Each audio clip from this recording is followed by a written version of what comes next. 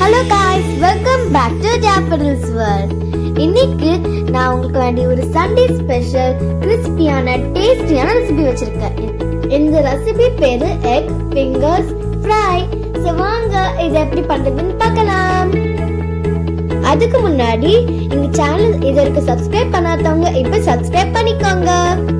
இந்த டேஸ்டியான கிறிஸ்பியான எக் ஃபிங்கர் ஃப்ரை பண்றதுக்கு நான் வந்து சிக்ஸ் எக்ஸ் எடுத்திருக்கேன்.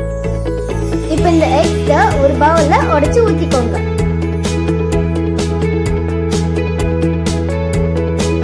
இப்போ இது கூடவே கொஞ்சம் பெப்பர் அடுத்தது தேவையான அளவு சால்ட் ஆட் பண்ணிக்கோங்க. இப்போ இதை நல்லா பீட் பண்ணிக்கோங்க. இது நல்லா பீட் பண்ண அப்புறமா ஒரு பிளேட் எடுத்துக்கோங்க. இந்த பிளேட்ல லைட்டா ஆயில் அப்ளை பண்ணிக்கோங்க. இப்போ பீட் பண்ண எக்க இதுல ஊத்திக்கோங்க.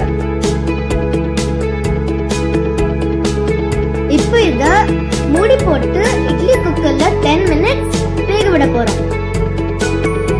இப்போ 10 மினிட்ஸ் ஆயிடுச்சு. இப்போ இதை ஓபன் பண்ணி பார்க்கலாம். வாவ் நல்லா வெந்துருச்சு. இப்போ இத ஸ்ட்ரிப் ஸ்ட்ரிப்பா கட் பண்ணிக்கலாம். உங்களுக்கு எந்த சைஸ் வேணுமோ அந்த சைஸ்ல நீங்க ஸ்லைஸ் பண்ணி எடுத்துக்கோங்க.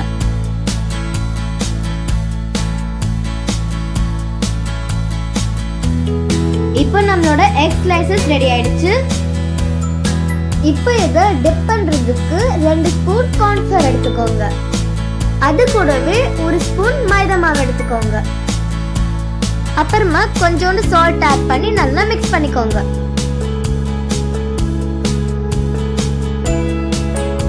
ஃபர்ஸ்ட் நம்மளோட ஸ்லைஸ் எக்கை கார்ன்ஃப்ளவரில் டிப் பண்ணி வச்சுக்கணும்.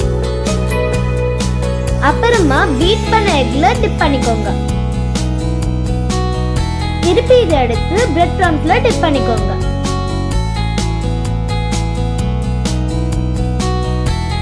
இந்த ஸ்லைஸ் எக் வந்து எல்லா சைஸும் பிரெட் க்ரம்ல டிப் பண்ணி எடுத்துக்கணும்.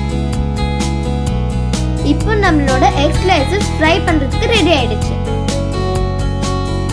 கடாய் வச்சுக்கோங்க. கடாய் ஹீட் ஆனோடனே இதில் ஆயில் விட்டுக்கோங்க. ஆயில் ஹீட் ஆனோடனே இதில் நம்மளோட ஸ்லைஸ் எக்கை போட்டுக்கோங்க.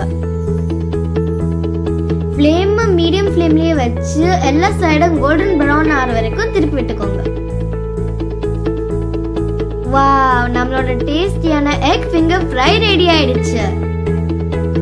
இந்த டேஸ்டியான கிறிஸ்பியான எக் ஃபிங்கர்ஸை நீங்களும் உங்கள் குட்டீஸ்க்கு ட்ரை பண்ணிட்டு கமெண்ட்ஸ்ல எப்படி இருந்துச்சுன்னு சொல்லுங்க. உங்களுக்கு இந்த வீடியோ பிடிச்சிருந்துச்சுன்னா like comment share and subscribe பண்ணிக்கோங்க. தேங்க்யூ ஃபார் வாட்சிங் பாய்